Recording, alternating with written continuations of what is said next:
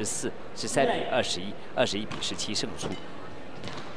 西蒙桑多斯的世界排名是十八，而 Sugato 呢是世界第五。好，现在比赛已经开始。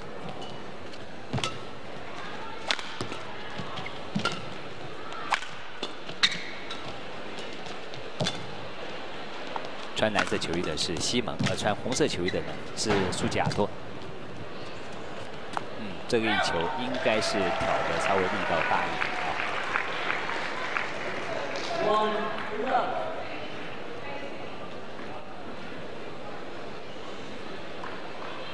第一球其实双方面的这个拍数就来的稍微比较多一点。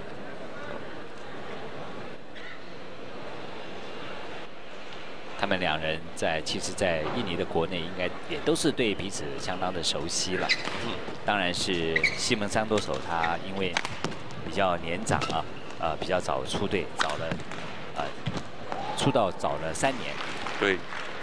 西蒙这个球是应该算他一个非受迫性的一个失误了，就是这个球。是给亚斗，他攻击的这个力道也没有非常的重。哦，是一个侧锋的一个出界，对，又是一个出界，让是给亚斗呢拿到这一分。在去年的世锦赛，桑德索，呃，曾经在第一轮遭遇到我国的雪人，好，结果他是第一轮就一比二输掉了啊。对，嗯，他所以呃。可能那时候应该是他的低潮，不过以他能够拿到新加坡羽球公开赛的呃冠军啊，对，又打败球王啊，对，那一是那一阵子他有一阵子不长，这个不短的时间哈，是有一阵很低潮的一个时候。哦，非常漂亮的一个对角滑拍的一个接球，这是他的一个虚攻球。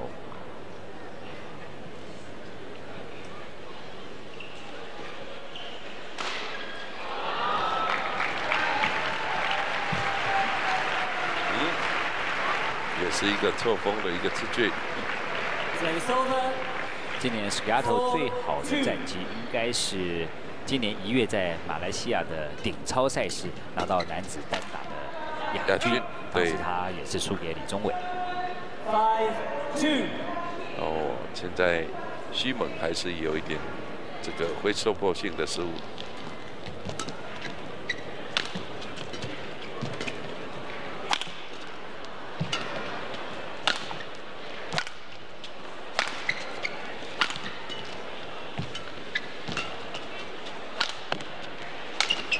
哎，这个失误多了一点。对，西蒙在 BWF 世界羽林的各项比赛当中，还从来没有输给 s c a d o 过，所以对 s c a d o 来讲啊，今天如果能够打败西蒙，对他来讲意义非凡。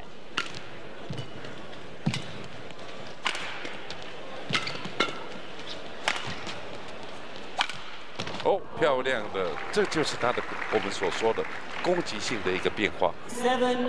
他如果有这样的一些变化，甚至于来说，再多一点点的这个瞬间起跳，做一个滑拍的一个往前出力，接球，还是甚至于打一两个长球，那有可能造成对手在他起跳的时候就无所适从。啊。这个就是，但是像我们昨天在看他在比赛当中，确实非常明显的，就是他只要起跳就是攻击，而且攻击大部分不是很让对手意外的一个位置，所以对手在防守其实也没有很大的困难。但是只要他多多多一点变化，其实他的能力应该会是非常强。所以苏吉亚托的确在他的球生涯当中呢，也许他还要有一些顿悟，或者是有一些贵人的呃指点啊，他才能够获得一些精进跟突破啊。好，这有时候即使是观念上的一个突破，这不是技术上的一个问题。苏吉亚托现在是世界排名第五，在技术上当然是没有问题，对而且他是。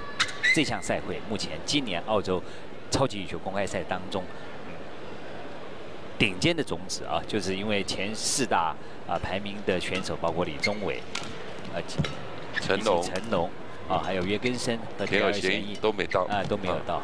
但是还有一个林丹，对，我说过啊，并不见得这四位选手到就一定比赛就一定精彩。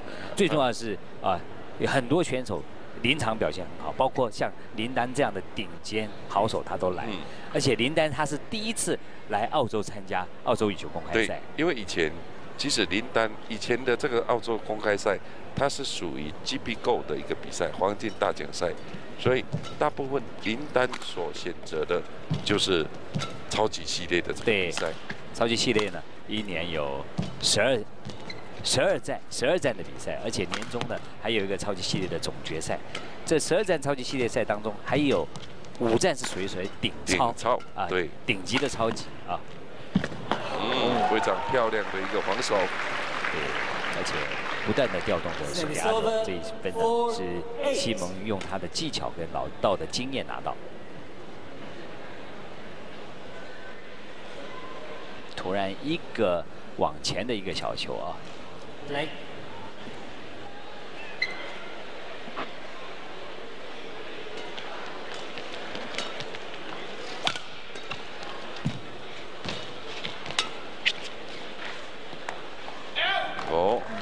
是一个出界。Five eight。在对方一波五比一的攻势之后呢，西蒙也连拿两分。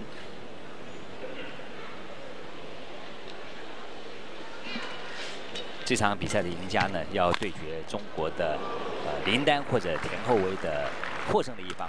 对。林丹呢，稍后会迎战。田厚威后威，对，而田厚威是呃今天哦今年这场比赛的卫冕者。嗯。不过他在准决赛碰到林丹，的确，呃运气不算太好了。但是，他去年他他的卫冕，他去年其实他是打败李宗伟。嗯，对。嗯。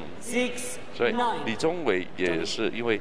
即使去年还是属于 GB Go，但是李宗伟非常难得能够参加这个 GB Go 的比赛。对，啊，现在应该是受到大会的邀请。对我们所谓 GP Go 就是所谓的黄金大奖赛，像下个月在台北小巨蛋举行的，就是属于国际语言的，哎，对，所以也也是属于 GP Go 了。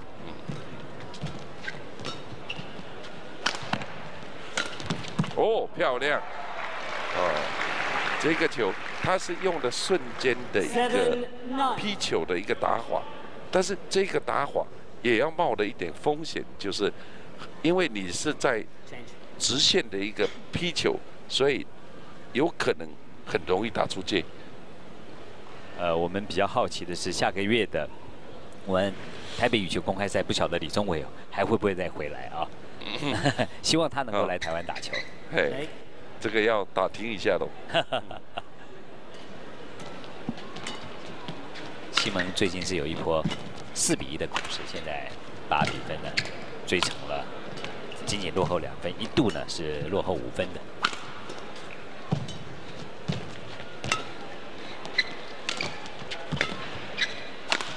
哦，好球，但是斯皮亚多也守得非常好。嗯这球又是出去让。西蒙呢展开了一波五比一的攻势，已经慢慢的把比分追上，仅仅落后一分。两位都是印尼的选手，印尼的内战啊。刚好今年二零一四年澳洲羽球公开赛的男单的四强准决赛啊，两组都是自家兄弟对决。另外一组呢是由中国的林丹迎战前后卫卫冕的选手，另外一组呢是由丹麦的呃呃印尼的西蒙赢在。现在苏吉亚托着红色上衣的就是苏吉亚托，着蓝色上衣的是西蒙。哦，漂亮！这个很漂亮的一个对角，大角度的杀球啊！而且用的是一个披萨，但是它起跳的高度也非常的好，对所以下来的这个球非常的深，非常的力，让右手持拍的西蒙呢面对这一记。反手的这个救球呢，也的确是要难度上要增加了许多。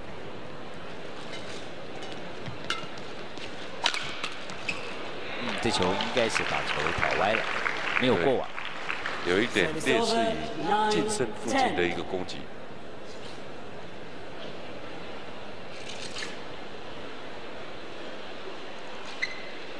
苏吉亚托虽然有微幅的领先，不过西蒙一直紧紧的追在后头，现在双方仅仅只有一分的差距。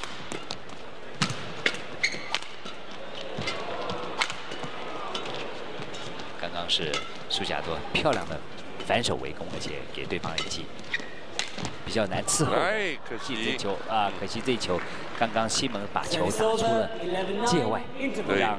苏吉亚托呢，带着十一比九领先的优势进入了第一局的休息时段。苏吉亚托在第一局当中，虽然面临西蒙不断的紧追在后，但是他的攻势还是比较多一点。对，他的攻势比较多一点，但是西蒙就是刚开始还有到后面这个阶段当中，他几个的非收破性失误。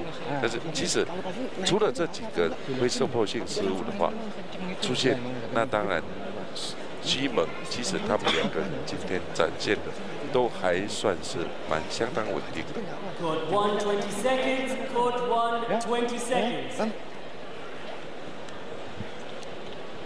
在第一局的前半段呢，双方啊总共花费了十分钟。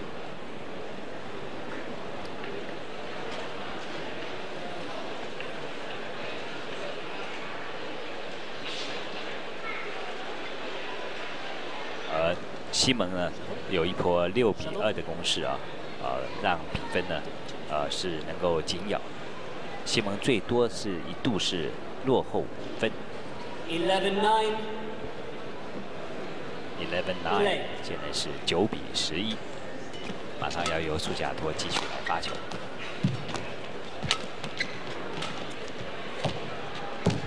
哦这个小球放的相当的不错，但是非常可惜没有过网，对，可惜没有过网。刚刚西蒙是奋力的往前准备去救球。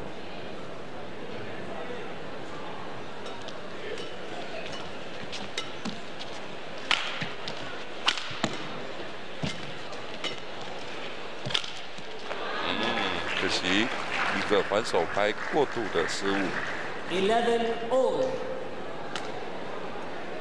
这是双方在一比一平手之后，在第一局的第二度的平手。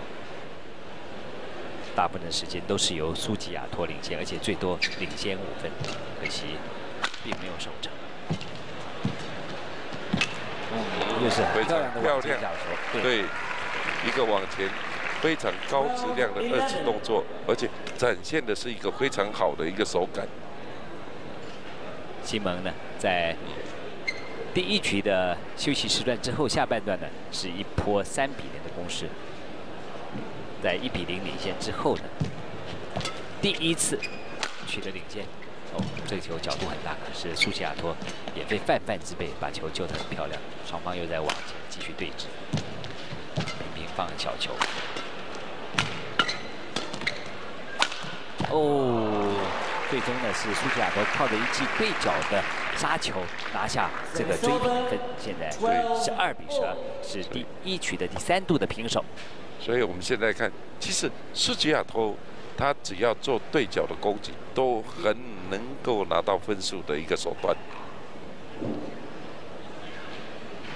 对角攻击啊，对角线攻击也是苏吉亚托他往往能够克敌制胜最关键的武器。对。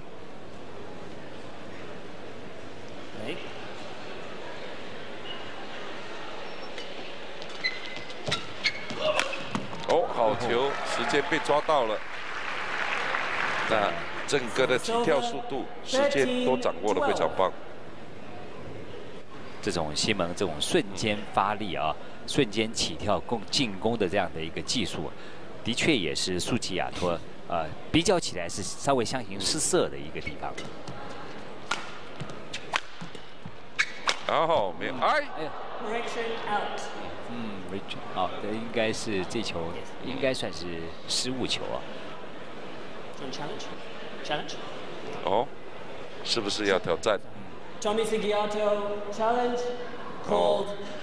没错，对，那个苏吉亚托要挑战。对，苏吉亚托确定要挑战。这个球当刚刚速度非常的快，并不是能够用肉眼能够清楚辨识的。哦，透过鹰眼来做一个最终的仲裁，的确也是最好的方法。刚刚是苏吉亚托在往前的一个重拍重扣，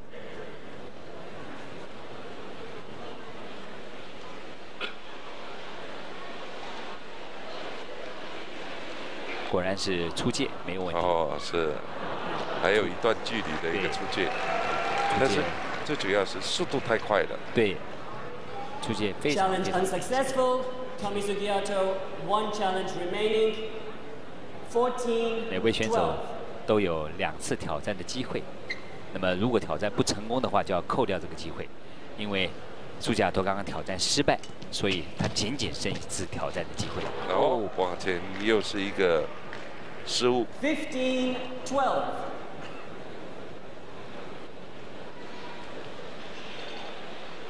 现在因为连续的失误，让西蒙呢又是有一波三比零的攻势。这也是西蒙在这场比赛当中领先最多的一刻，十五比十二，领先三分。刚刚我们特别谈到啊，西蒙虽然世界排名十八，不如他的队友苏吉亚托的世界排名第五，但是过去两人交手两次都是由西蒙获胜。当然，他今天也是希望能够延续这样的一个气势。这球是杀球，是界内球，对，让苏吉亚托拿到这一分，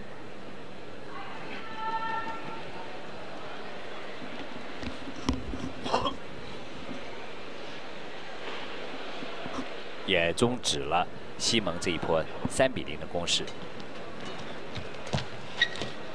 哎，又是一记往前的一个失误喽。最近是西蒙有一波四比一的攻势，现在比赛已经进入了，尤其对西蒙来讲，已经进入了关键时刻得关键分的能力。苏加多必须要想办法来 stop 来阻止还是同样，哎，他今天的这个。他把这个球搓得太高，但是搓得太高，你就必须要再更华丽。但是他这几个球连续有三个这样的一个搓网都没有过网，非常可惜。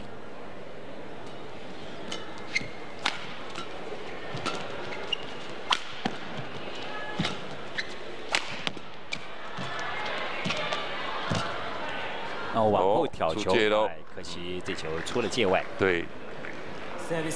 也终止了西蒙这一波五比一的攻势。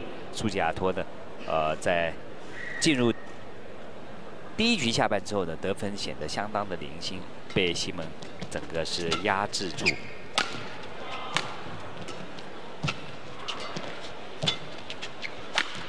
哦，到位，对，漂亮的一个贴着边线走的一个呃杀球。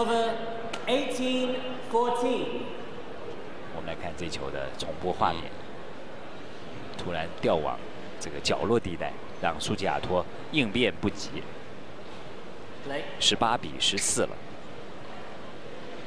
在双方打成十二比十二平手之后呢，是西蒙是展开一波六比二的攻势。哦，又是一个出界。这段时间呢？是苏加托失误太多。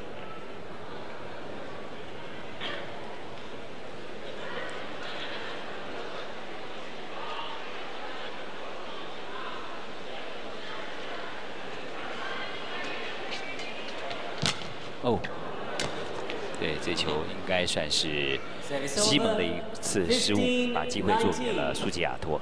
对，这个球应该是苏吉亚托晃的。非常的贴网，所以造成西蒙要把这个球挑起来有很大的难度。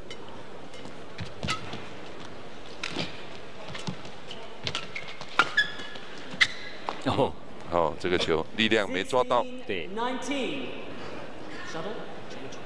其实西蒙仍然大意不得，因为仅仅领先三分。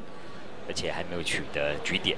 对苏吉亚托来讲，他必须要阻止西蒙取得局点，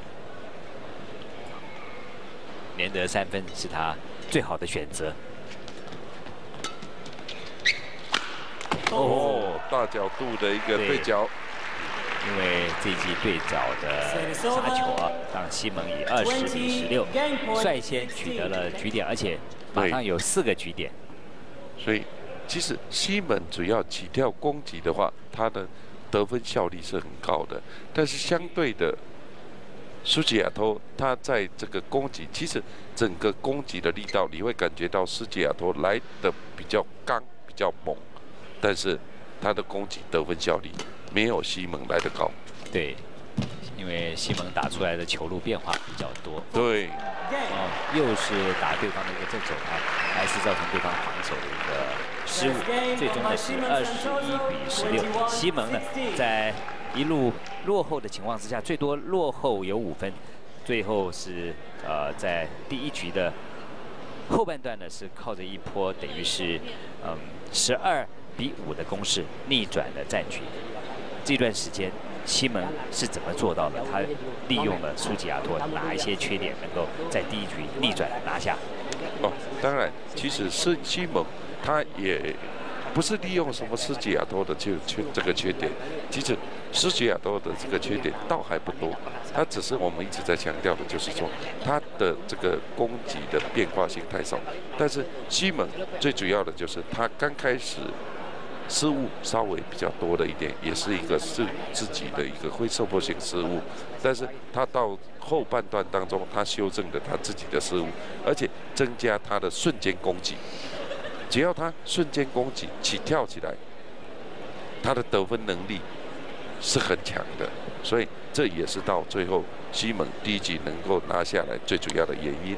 啊，这也是他的关键，所以之前我们也就知道，即使他们两个人之前的两次交手，通通都是西蒙拿到了胜利，所以能够拿到胜利，而且这一次一局又能够把握，所以这也是西蒙对，其实应该是他对斯吉亚托的这个球路上已经掌握的非常清楚。好，我们现在回到了比赛的现场，看看第一局一些精彩的镜头回顾。穿蓝色球衣的呢是西蒙，而穿红色球衣的呢是苏吉亚托，两位都是印尼的选手。是您所收看的是2014年澳洲羽球公开赛的男子单打总决赛。印尼的自家兄弟呢被安排在总决赛啊，是自家兄弟队的。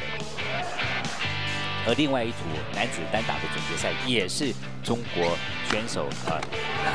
内战啊，是由中国的林丹对决他的队友田厚威，而田厚威呢是卫冕者。第一局花费了二十分钟，西蒙是二十一比二十拿下。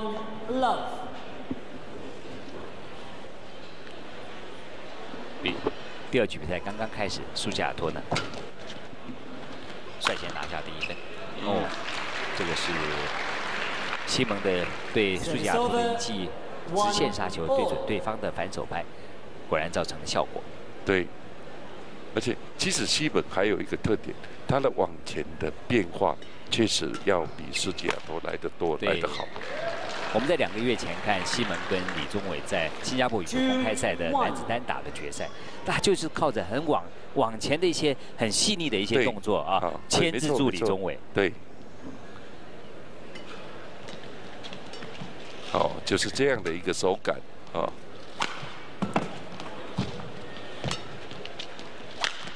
哦，漂亮的一个角度。对，其实苏吉亚托就是需要这样的一个变化的球啊，不能一成不变，让对方觉得啊，我知道你要打哪里了。这样的话就对，比较麻烦。对。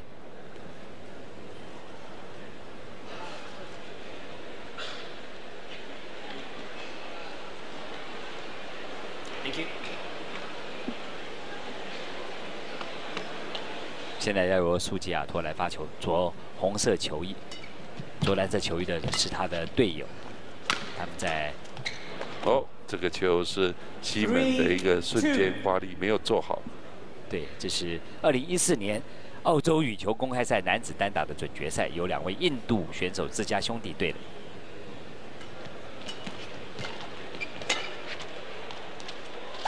哦，很漂亮的一个近身球。嗯，当然，西蒙呢，虽然做了漂亮的闪身，很快速的闪身，还是没有办法把这个球救到位。其实，在斯斯基亚托他的攻击，他其实常常打的都是边线，都是对角，但是他很少做近身。对。但是偶尔打个近身，也是一个非常好的一个战术。这个时候。西蒙马上利用一记直线球抢回一分。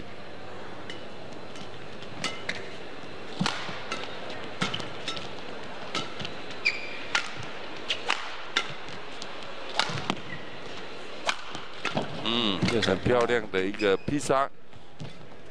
哎可惜，是最后的力量没有用出来。刚刚是。苏吉亚托是很漂亮的一个往前的小球，让西蒙没有办法把球救到位。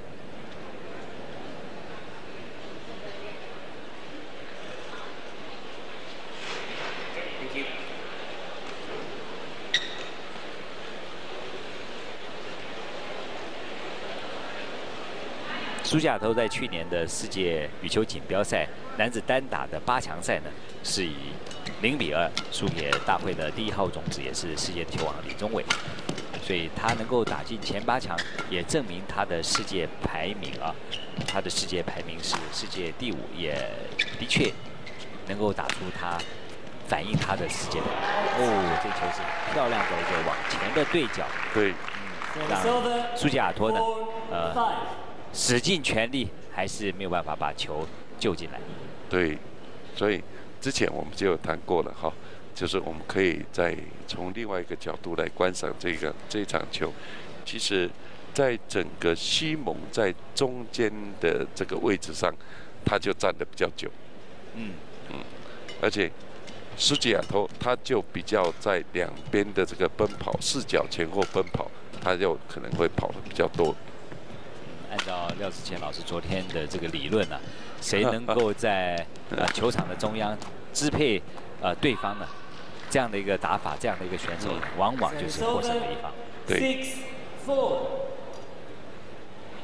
而且在场中主导对手，可能就是你消耗的体力也比较少。也比较少啊，确实啊，就是你让对手在跑。对。啊，但是对手打过来的球都比较让你容易去掌握，你大致上你就能够知道说，对手。他要打的是哪个位置，所以你在移动上也不会比较慌张。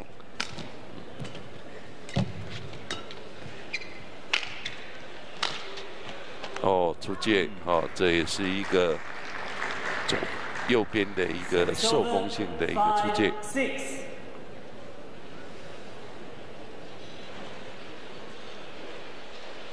这个有点像。我们要玩九宫格的游戏，我们一个圈一个叉。我们第一次要落子的时候，一定要放在哦中央一样啊。嗯，对，谁掌握中央啊，谁就掌握了这个边界。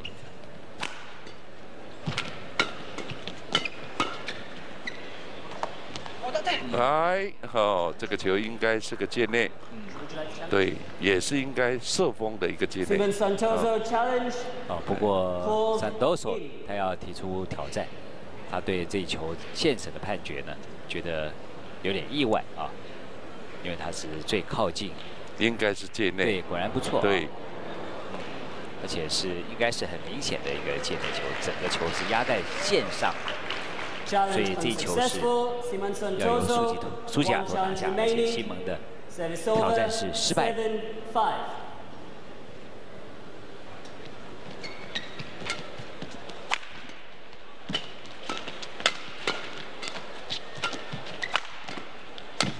哦，非常好的对。重复路线的攻击，而且一拍比一拍更接近对手，一拍比一拍的距离更近，更有力。现在，今年追成只落后一分。thankyouplace。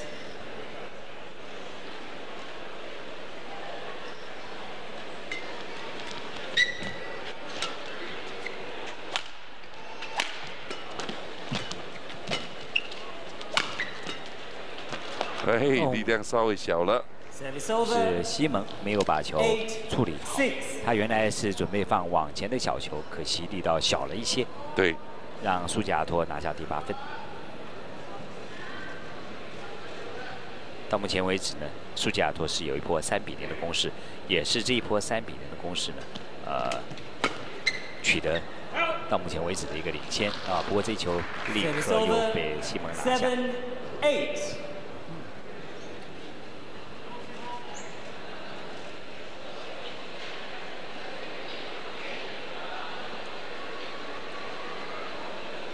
从球场上来看，西蒙跟苏吉亚托应该交情不错啊，因为球场上的火药味并没有很浓厚啊。因为如果说啊是一个世仇啊，呃，往往在球场上是看得出一些火药味的。对，其实西蒙的打球，他的态度一向都这样的不温不火，嗯，比较少杀气了。对，但是也是我们讲的，就是他缺少了一股这个。在球场上射人的这个杀气。现在第三局打成了八比八平手，是第二局比赛的第三度的平手。哦，这球应该是双方好像拍子有短兵相接，是不是？好像有声音。没有，他这个球是那个。苏吉亚多在往前在扑球的时候，那个西蒙打到这个球拍的拍框，嗯，所以并不是双方的。好，可惜，好，这是一个会受迫性失误喽。双方九比九。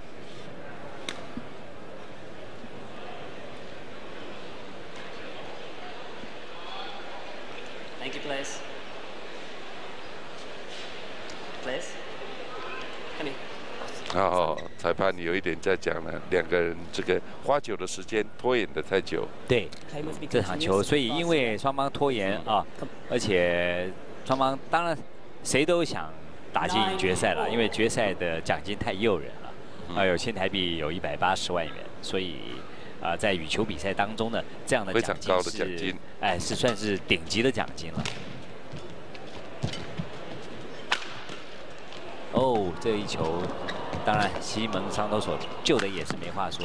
哦，这个角度比较大，哎，应该是出界。这球放掉，应该是明智的抉择。对，因为受侧风的一个影响，对，所以很可以放心的放掉。对，嗯。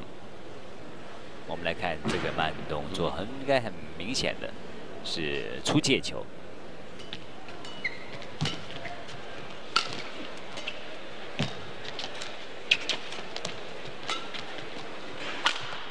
哦，瞬间的加速。对。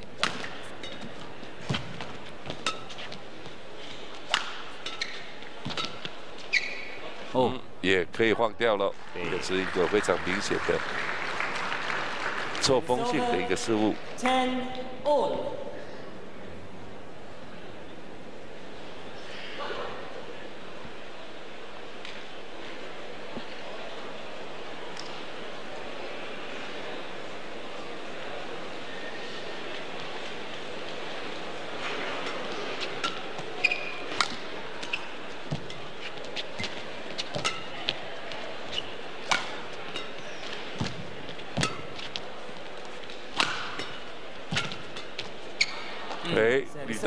稍微小了一点。对，最终呢是西蒙的一记失误，让苏吉亚托带着十一比十领先的优势进入第二局的休息时段。第二局双方的比赛打的好像那种一团和气的气氛，较第一局有过之而无不及啊。当然了。所以其实双方们打的好像没有什么火气，也没什么杀气。呃，确实是跟第一局来说哈，又有一点不大一样的一个打法。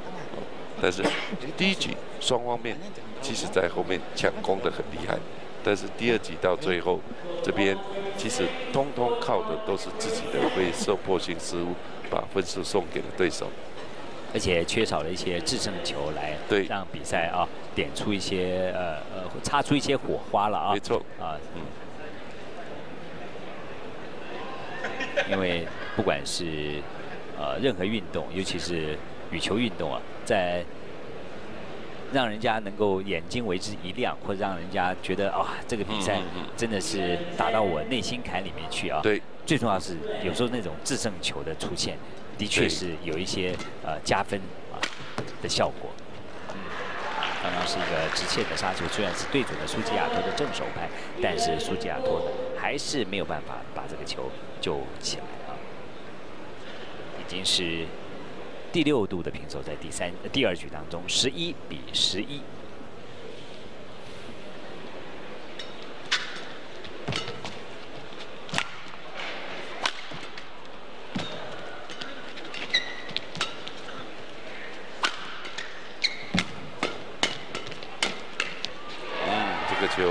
再往前就被西蒙给抓住，对，所以西蒙现在以十二比十一又取得了领先。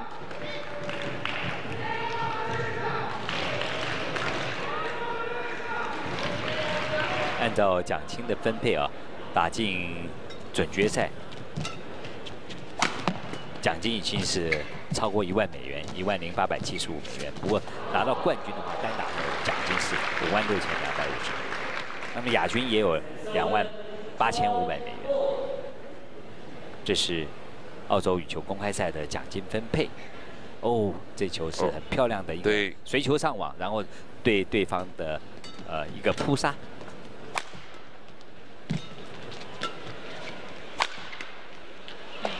刚好是打到苏吉亚托的反手拍，这一球是让苏吉亚托救的不够漂亮啊。力道也没有完全的掌握好，让西蒙拿到第十三分。最近呢是西蒙有一波三比一的攻势。来。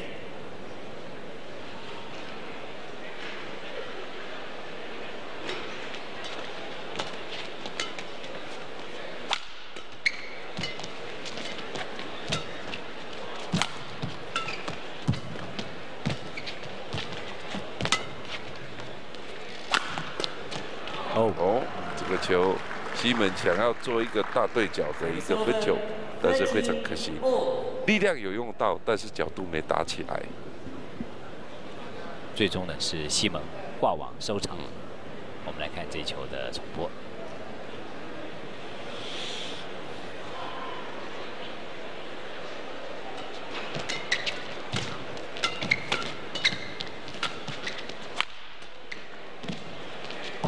哦。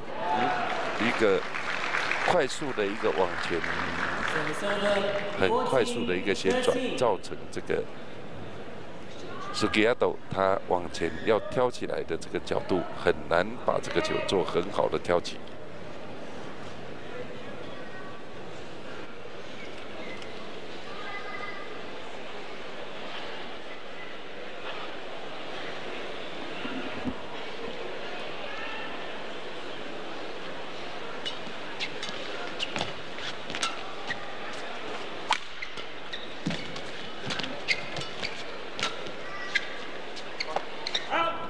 界还是一个后场的出界。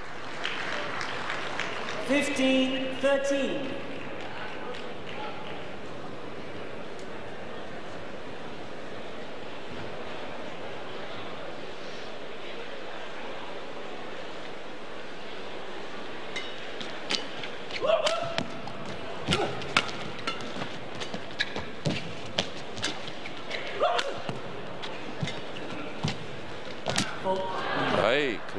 好是，又是往前的一个失误，啊对，尤其在第一局，他是连续三个往前失误，所以也是同样的这样的一个打滑的失误，所以这样的话，今天 s k a d o 在这种换网的话，他不需要换那么高，他想要换的这个高度就是要更贴网，所以他必须不需要去跳那么高的一个。刚刚。西蒙呢救得非常漂亮，而且他在往前已经是虎视眈眈了啊，完全抓住了对方的球路，抓住了他缓拍的过渡球，对，啊，就是这个球，但是做一个近身左边、右边的一个挤压，再造成后面的一个最后攻击的机会。在双方打成十三比十三第八度平手之后呢，西蒙靠着一波四比零的攻势，现在已经以十七比十三拥有四分的领先，来到了关键的阶段啊。除非苏吉亚托在这个时候能够连续得分，很重要，要不然不好打。又被连续晋升的挤压，对，一波五比零的攻势，西门已经以五分领先苏吉亚托。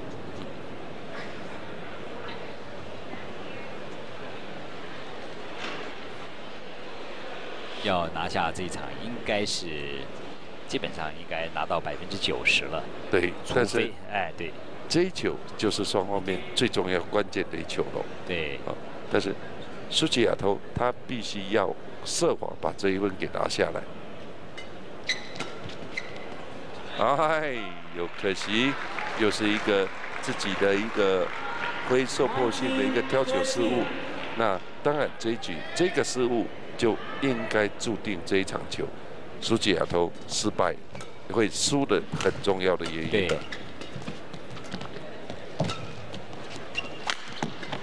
哦，救的也是没办法。哦，左一右。对。